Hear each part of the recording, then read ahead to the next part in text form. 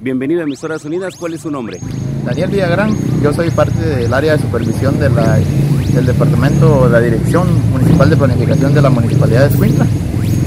El día de hoy nos encontramos aquí en barrio Lourdes, en la segunda calle, la cual pues, comenzarán los trabajos para mejorar este sector, este, esta, calle importante donde sirve de desfogue para poder unir lo que es la calle que viene de la línea con la calle que conectamos en la Colón Argueta.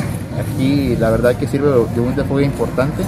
Hay un tráfico importante que circula por este lugar, pero se va a recuperar esta importante calle. Este, y el día de hoy estamos ya entrando con el trabajo de topografía y en, esta calle se van a cambiar completamente los drenajes existentes. El drenaje existente es de concreto.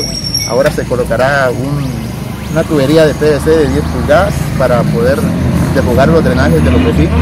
También se cambiará cada una de las domiciliares de cada uno de los vecinos que residen en esta importante calle también se, va a cambiar el, sistema de agua potable. Actualmente la tubería es de hierro, es de 3 pulgadas y se van a colocar dos líneas, una en, una en cada lado, de 2 pulgadas y de PVC de igual manera, para poder mejorar el sistema actual de los vecinos, para poder eh, que ese vital líquido pueda llegar a los vecinos de manera constante y, de buena manera también. Entonces se trabajará en el sistema de agua potable. Luego de realizar todos esos trabajos, pues ya el último la última sección de los trabajos será ya la pavimentación.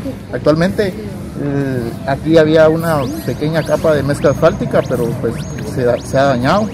Ahora no lo, no lo repondremos con mezcla asfáltica, sino que será concreto hidráulico el que utilizaremos en este lugar, con un espesor de 15 centímetros, adecuado para casi que cualquier tipo de tráfico que transite en este lugar, ya sea pesado o, liviano.